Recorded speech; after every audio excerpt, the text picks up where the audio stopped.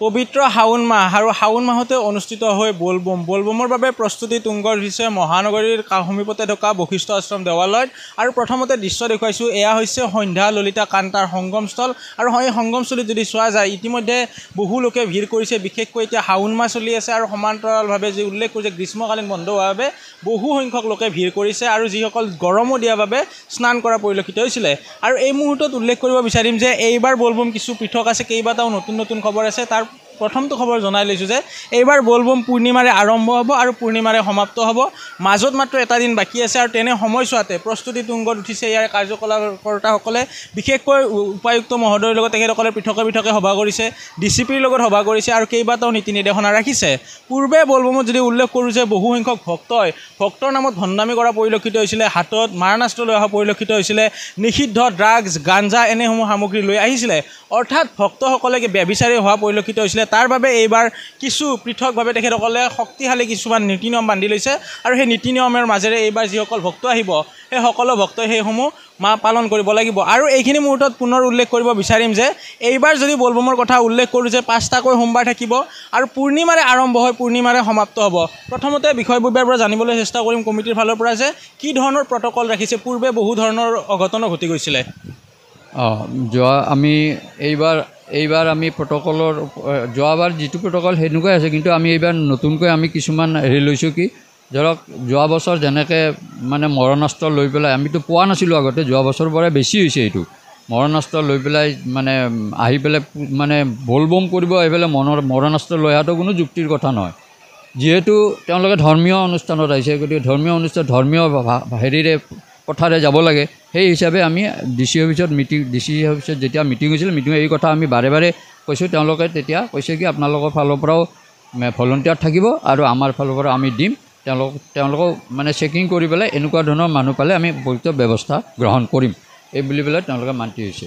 গতিকে সেই হিচাপত আমি হেৰি কৰিছোঁ। কিন্তু আৰু কিছু ভক্তই কিছু ভক্তই ইয়াৰ ইয়াৰ কিছু ভক্তই আকৌ ইয়াৰ বিৰোধিতাও কৰে যে আপোনালোকে কিয় মই বন্ধ মানে চেকিং কৰিছে? চেকিং কৰিব আপোনালোকে নিজে গম পালে এইটো এনেকুৱা ধৰণৰ মদ ভাং খাই আহি পেলাই উদ্ভাণ্ডলি কৰিব আৰু ইয়াত আহি পেলাই বদনাম কৰিব। বশিষ্ঠ মন- মন্দিৰত আহি পেলাই মাৰিছে চাই ধৰিছে। মাৰি আমি ধৰিবলৈ ধৰি পেলাই মাৰিব লগা অৱস্থা এনেকুৱাই হয়। আমি যিহেতু মানে তেওঁলোকে উৎপাত কৰিব তেতিয়া আমি ধৰিব লগা বাধ্য হৈ যাওঁ। এনেকুৱা ধৰণৰ কাৰণে এইবাৰ আমি নতুনকৈ এইটো প্ৰশ্ন হাতত লৈছোঁ। আৰু আৰু এটা কৈছোঁ আৰু এটা আমি হেৰি লৈছোঁ এইবাৰ আপোনাৰ কিছুমান ভক্তই আহি পেলাই মদ ভাং খাই ইয়াত নদীত আহি পেলাই পৰি থাকে। ড্ৰাগছো লৈছিলে যোৱাবাৰ ড্ৰাগছ লৈছে ড্ৰাগছো খাই পেলাই ইয়াত মদ পানীত পৰি থাকে। গতিকে আমি গতিকে আমি এইবাৰ তেওঁলোকক অনুৰোধ জনাইছোঁ যাতে তেওঁলোকে আহি ডাইৰেক্ট পানীটো লওক পানী লৈ তেওঁলোকে জলাহৰণ কৰক ঢালক আৰু লৈ পেলাই তেওঁলোকে গা পা ধুই লৈ পেলাই গুচি যাওক। যিমান পাৰে সোনকালে গুচি যাওক। এই লৈ পেলাই আমি এখন তেওঁলোকক জাননী এখন ব্যৱস্থা কৰিছোঁ।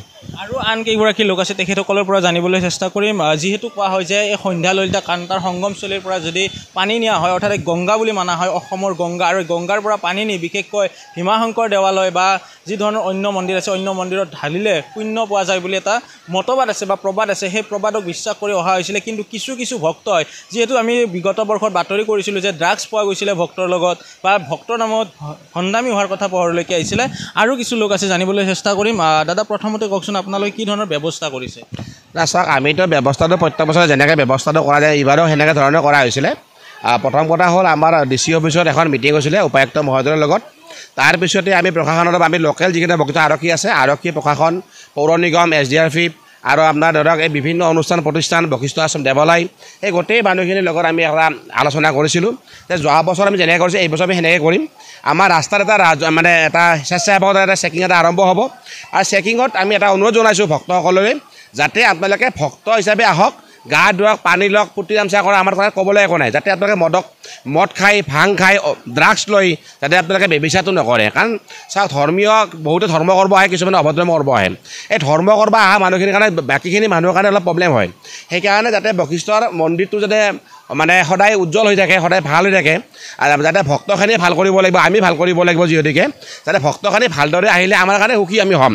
আমি নিজাববীয়াকৈ চেকিং এটা ল'বলৈ কিয় ল'ব লগা হৈছে? একমাত্ৰ মদৰ কাৰণে বা ড্ৰাগছৰ কাৰণে ল'ব লগা হৈছে। আপোনালোকে দেখিছে যোৱা বছৰ তাৰ আগৰ বছৰ আমি কিমান মদ ধৰিছোঁ কিমান ভাং ধৰিছোঁ। আমি ড্ৰাগছ ধৰিছোঁ। ড্ৰাগছ ধৰি আমি ডাঙৰ ডাঙৰ ডেগাৰ পাইছোঁ কোঠৰ পাইছোঁ আমি পুতলা পিষ্টল পাইছোঁ সেইটোতো বেয়া কথা ন? তে সেইবিলাক ট'টেলি বন্ধ কৰাৰ কাৰণে আমি অনুৰোধ জনাইছোঁ। ৰাজপথত বাহনৰ ক্ষেত্ৰত কি ধৰণৰ ৰাজপথত আমি কৈছোঁৱে যে অকল বশিষ্ঠ চাৰিআলিত যিসকল ভক্ত দূৰ দূৰণিৰ পৰা বাহন লৈ আহিব তেওঁলোকে বশিষ্ঠ চাৰ চাৰ্ভিচতো ৰাখিব আৰু বাকী যিখিনি ভক্ত আমাৰ ধৰক যেনেকৈ লতাকাটা গণেশনগৰ বৰপথাৰ বশিষ্ঠৰ যিখিনি স্থানীয় মানুহ আছে তেওঁলোকে তেওঁলোকৰ আইডেণ্টি প্ৰুফ দেখালে তেওঁলোকৰ গাড়ীখিনি জেগালৈ অহা হ'ব। কিন্তু বশিষ্ঠ মন্দিৰৰ ফিল্ডৰ মাজেদি নহ'ব। গণেশনগৰ তিনিআলিৰ পৰা ইয়াত কোনো পধ্যে বশিষ্ঠ লোকেল হ'লেও নহ'ব আন লোকেল হ'লেও নহ'ব। কাৰণ তেওঁলোকে গাড়ীখিনি নহ'লে আমাৰ ভক্তৰ প্ৰব্লেম এটা হৈ যায়। কিমান লোক হ'ব বুলি ভাবিছে? চাওক এতিয়া যিহেতুকে আমাৰ আমি এইবাৰ সৌভাগ্যৱান এইকাৰণে যে আচলতে প্ৰথমটোৱে পূৰ্ণিমা ছেকে লাষ্টতো পূৰ্ণিমাই পৰিছে। সেইকাৰণে পূৰ্ণিমাৰ হোৱাৰ কাৰণে ৰবিবাৰ পৰিছে। স্কুল কলেজ বন্ধ আছে। আমি আশা কৰিছোঁ মানে ষাঠি সত্তৰ হাজাৰ মানুহটো এনে অনাকৈ হ'বই কোনো কথাই নাই। প্ৰত্যেক ৰবিবাৰটো প্ৰত্যেক ৰবিবাৰটোত। প্ৰায় পঞ্চাছ হাজাৰতকৈ অধিক লোক হ'ব বুলি তেখেতসকলে আশা কৰিছে। উল্লেখ কৰিব বিচাৰিম যে গৰম বন্ধ চলি আছে যাৰ ফলত এই মুহূৰ্তৰ সতীৰ্থ দৃশ্য দেখুৱাইছে যে গৰম বন্ধ হোৱাৰ বাবে এনেদৰে নিজৰ সা সন্তানক লৈ এনেদৰে ওলাই আহিছে গৰম বন্ধ উপভোগ কৰিবৰ বাবে আৰু সন্ধ্যা ললিতা কান্তাৰ পাৰত এনেদৰে তেখেতসকলে নিৰ্মল বতাহ বা পৰিষ্কাৰ বতাহ সেৱন কৰা পৰিলক্ষিত হৈছিলে। আৰু এইবাৰ উল্লেখ কৰিছোঁ যে আৰম্ভণি হ'ব পূৰ্ণিমাৰে আৰু সমাপ্ত হ'ব। পূৰ্ণিমাৰে যিগৰাকী মূল পূজাৰী বা মূল দলৈ বুলি যাক কোৱা হয় তেখেত আছে। তেখেতৰ পৰা জানিবলৈ চেষ্টা কৰিম যে এইবাৰ এটা ভাল খবৰো আছে যে পাঁচটা সোমবাৰ থাকিব সমান্তৰালভাৱে পূৰ্ণিমাৰে আৰম্ভ হ'ব পূৰ্ণিমাৰে সমাপ্ত হ'ব। কি ধৰণে আপোনালোকৰ আয়োজন চলিছে? হয় আমাৰ ইয়াত প্ৰতি বছৰে ৱিনকিবাৰৰ নিচিনা এই বছৰো আমাৰ বলবম আৰম্ভ হ'ব। গুৰু পূৰ্ণিমাটো ৰাখি পূৰ্ণিমা। গুৰু পূৰ্ণিমাত আৰম্ভ ৰাখি পূৰ্ণিমাত শেষ। গতিকে এমাহজোৰা কাৰ্যসূচী। সেই এমাহজোৰা কাৰ্যসূচীত আমাৰ এইবাৰ এইকাৰণে এটা ভাল এইবাৰ প্ৰথম পূৰ্ণিমা গুৰু পূৰ্ণিমা দেওবাৰ পৰিছে। যিহেতুকে আমাৰ ইয়াত দেওবাৰে প্ৰত্যেক ভক্তই পানী নিব আহে গোটেই ৰাতি ইয়াত থাকি পানী লৈ যায়। অন্যান্য মন্দিৰত শুক্লেশ্বৰত বা ভীমাশংকৰ বা অন্যান্য যাৰ যাৰ য'তে কামনা আছে তাত মন্দিৰত পানী ঢালে। এইবাৰো সেই আৰম্ভ হ'ব গুৰু পূৰ্ণিমাত দেওবাৰ। সেইদিনাৰ পৰা আৰম্ভ হৈ আপোনাৰ একৈছ জুলাই। আৰম্ভ হ'ব আৰু ঊনৈছ আগষ্ট সমাপ্ত হ'ব। সেইদিনা ৰাখি পূৰ্ণিমা ৰাখি পূৰ্ণিমাত সেয়া সমাপ্ত হ'ব। গতিকে এইবাৰ যিহেতুকে গুৰু পূৰ্ণিমা দেওবাৰ পৰিছে গৰমৰ বন্ধ গতিকে ভক্তৰ সমাগম যথেষ্ট হ'ব বুলি আমি আশা কৰিছোঁ। আৰু একৈছ তাৰিখ আৰু আঠাইছ তাৰিখ এই দুটাত বেছি হ'ব বুলি এটা আশা কৰিছোঁ। কাৰণ এইটোৱে গৰম বন্ধ থাকিব। তাৰপিছত আগষ্টত স্কুল খুলিব সেইটো কমো হ'ব পাৰে যিহেতুকে দেওবাৰ থাকিব গোটেই গোটেই পাঁচটা বলবমত যথেষ্ট ভক্তৰ সমাগম হ'ব। এয়া আছিলে দলৈৰ মন্তব্য। গুৰু পূৰ্ণিমাৰে আৰম্ভ হয় ৰাখি পূৰ্ণিমাত সমাপ্ত হ'ব বলবম আৰু সমান্তৰালভাৱে যিসকল ভক্ত আহিব তেখেতসকলক আহ্বান কৰিছে অনুৰোধ কৰিছে যে নিচাসক্ত দ্ৰব্য লৈ নাহে যাতে এইবাৰ ভক্তৰ নামত ভণ্ডামি নহয় এনেধৰণৰ আহ্বান দিয়া পৰিলক্ষিত হৈছিলে। আৰু সমান্তৰালভাৱে যিসকল স্থানীয় লোকে হওক বা অস্থানীয় লোক হ'ল তেখেতসকলে বাহনে ইয়াতে প্ৰৱেশ কৰিব নোৱাৰিব বা অন্য অন্য ধৰণৰ কথাসমূহ উল্লেখ কৰিছে যে ভক্তৰ নামত ভণ্ডামি এইবাৰ নহ'ব।